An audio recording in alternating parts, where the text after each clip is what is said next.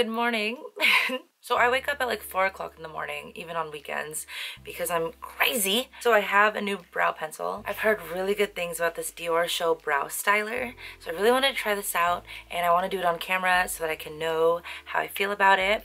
Brows are my first step. I have nothing on my face right now. The reason that I do brows first, because I think it increases longevity if the product is on your hair and face rather than on your foundation. I feel like my eyebrows move around a little bit more when they're on top of foundation. So I do this step first and then I just touch it up after everything because when you're doing your foundation and your powders and all that, you will brush some of it off a little bit. So there's no lid or anything like that, which is kind of weird. You just twist it to get the product to come out. So weird, there's no lid. And then there's a spoolie on this end. I used to never use a spoolie and I used to never have that nice of eyebrows. I think eyebrows are so important. They kind of make your face, but I'm still learning. I don't do a great job. Sometimes I just rush through it, but I really want to get better. Hence the new product try on. Yeah, hence. So I pluck my eyebrows by myself and I trim the hair because it gets pretty long. My eyebrow hair is way longer than my eyelash hair, which is so not fair.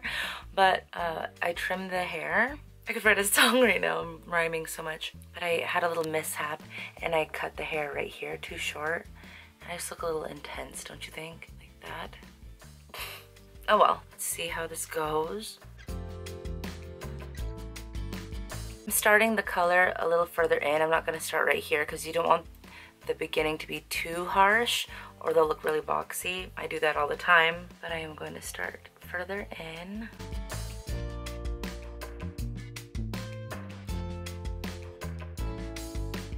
Kind of like the thinner application because it looks more like brow hair. Cover up my mistake.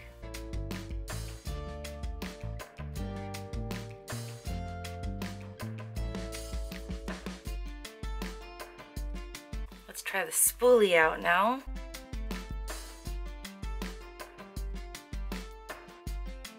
And then when I get to the inner part of the eyebrow, I just use lighter strokes and I go upward. So the closer together that you make your eyebrows, the smaller your nose looks. You can't fake your eyebrow hair too far in. I wish my eyebrows were this thick, like in life, but who doesn't? I like the way that this looks like real eyebrow hair. It doesn't look so dry, you know, like it doesn't look like Sharpie or anything like that. I'm really happy with the color too.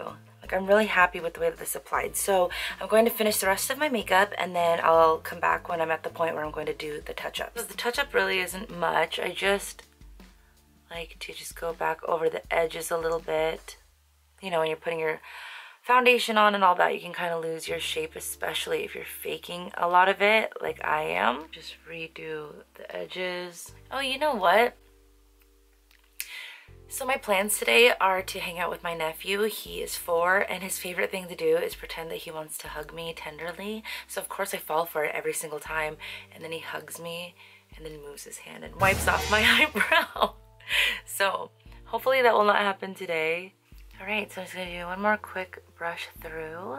If you go too harsh with your brow, spoolie really is almost like an eraser and blender at the same time. I can spoolie this out to basically be back to where I started. Just so you know, in case you mess up, I am happy with this amount of depth. I love this. I'm going to set it with the Anastasia Brow Gel. This is just clear, it really doesn't do so much.